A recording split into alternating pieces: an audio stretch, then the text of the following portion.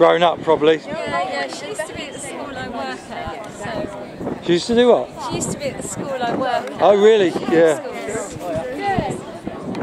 Yeah, she's hanging, hanging in there, sort of coming back. She had a few problems with her knees and so she's grown, you know. She's still doing 800 mainly. Yeah.